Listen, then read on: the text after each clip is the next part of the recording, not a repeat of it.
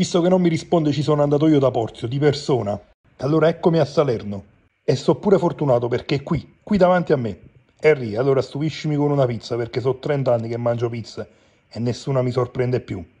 Crema di ricotta e burrata nel cornicione. Il ragù con le polpettine caldo caldo. La cottura lenta, docile, mai aggressiva. Un bel boccone di bufala. Pioggia di cacio ricotta cilentana.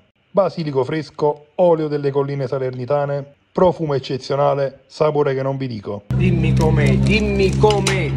È eccezionale. Ricorda le domeniche a casa delle nonne. Guagliù, è proprio vero, pure un. Sa da sapere fare.